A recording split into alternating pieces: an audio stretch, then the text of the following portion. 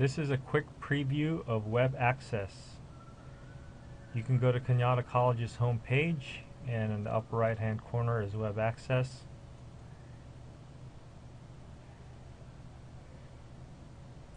You can also just type the URL smccd.mrooms.net.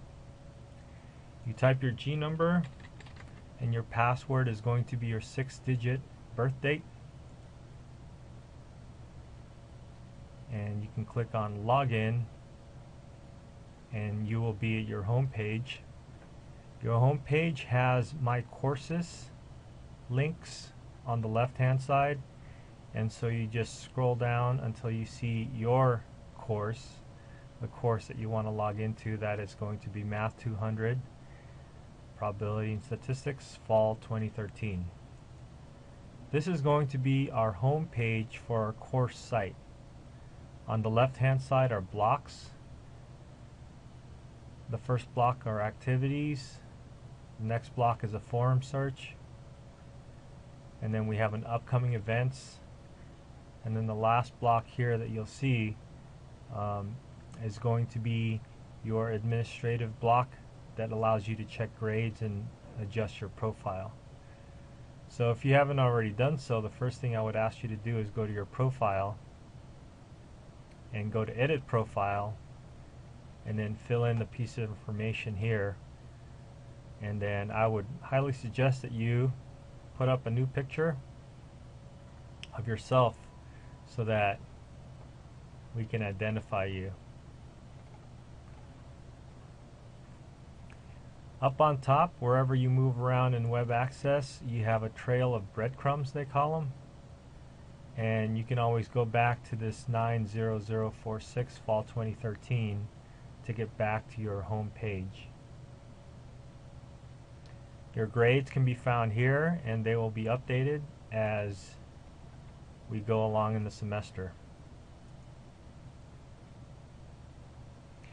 The upcoming events show the events that are going to be due and the first thing that's going to be due for our course is a math autobiography that's due on August 20th. So you can jump on that and click on that if you want. So this these are the instructions for the autobiography and once you've done the instructions you can choose the file on your desktop and then upload the file to be able to submit your assignment.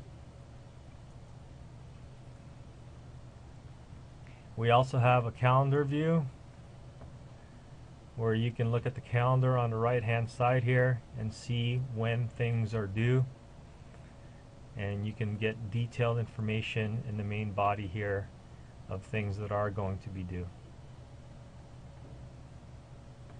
You can also create your own event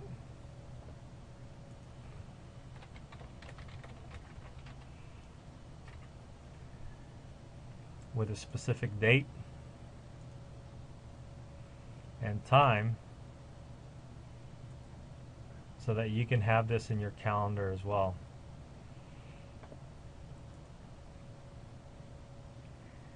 So the list of activities are activities that are actually posted here in the main part of the site. So the Math Autobiography is an assignment and that can be found under Assignments, Math Autobiography, uploading a single file. And if you click on that, that'll send us to that same place where we saw the autobiography through the calendar. Okay. The middle part or the main part of the of the course site are the blocks and the blocks are broken up by weeks except for the first block the first block is always going to be visible but if you scroll down we have week one week two and the dates start on a Monday what you can do is that if we're at a specific week like like say we're in the third week of the course we can click on this little box over here that shows one week at a time. So we have the main block in the beginning and then the one week that is going to be visible. If you want to see all the weeks again, you can click on that same block and then it'll show all the weeks. Just in case though, if all the other weeks are hidden and you want to jump to say not week 3 but week something else, you can jump to week 10 or jump to week 1 by clicking on this jump to option. So for every week, what we have are the readings, the chapters, and there's a video and an assignment. All these links over here take you outside of this website. These links over here are links to actual work that we're going to be doing in this within this website. Well, except for this homework, which will also take you outside of this website. So just to show you, the textbook can be found online and this is where the textbook would take us. Uh, Collaborative Statistics is the book that we're using, so you can read through this book online if you want. This actual hard copy of the textbook will also be available at the library and at the bookstore. There are videos for this as well. By clicking on the video, you would need a QuickTime plugin on your computer but this video is made by the actual author of the book that we're using, Barbara Illowsky. Hi, I'm Barbara Illowsky and welcome to Elementary Statistics. And so she goes through all the points and topics in each chapter. It'll take about half an hour to view if you wanted to view the whole thing.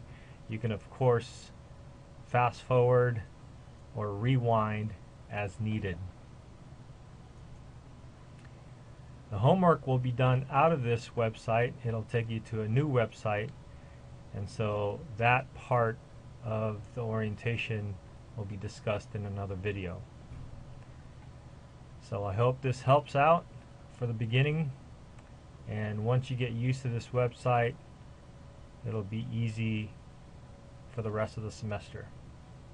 Good luck.